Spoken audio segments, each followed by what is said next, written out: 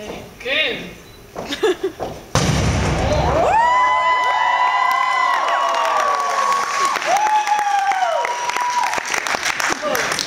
Jag har varit pojkscout. Och flickscout. Tills jag råkade skrämma en grabb. Hörni, klockan är över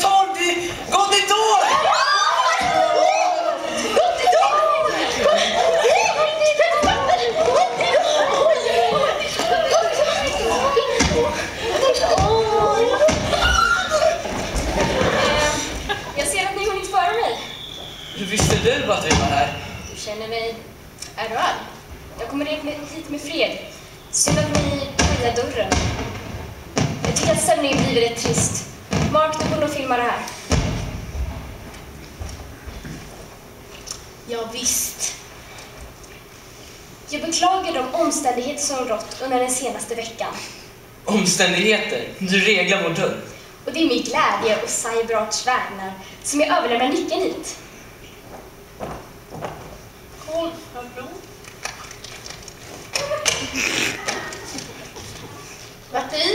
Batterierna är nog slut eller något. Ta om! Så bra. Repris på hycklerierna. Den välvillige guden föreslår stackars konstnärerna tillbaka till loftet. Hade du tänkt ge mig taggtråd vid kåkstaden också? Skulle inte tro det. Nej. Jag spelar om mot stöld och mot svindleri. Loddet ser ut, men ni får stanna kvar.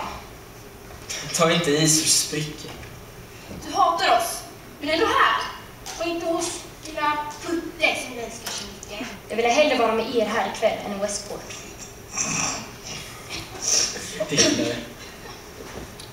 Hallå. Vad, vad är det här för sätt att börja ett nytt år på? Becky här har faktiskt misstänkt katt. Eh, min hund, men eh, tack ändå.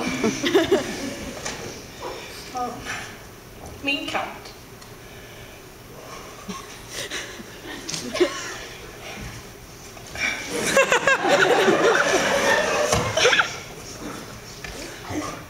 Min katt föll en gång det, enda jag behöll det var så. Det är som att förlora en... Visste du att hon föll? Champagne.